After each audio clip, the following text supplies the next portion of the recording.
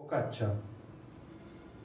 Focaccia to małe włoskie miasteczko, które my unicestwiamy jak barbarzyńcy. Tadeusz Różewicz krzyczy do nas: Zostawcie to małe włoskie miasteczko, barbarzyńcy.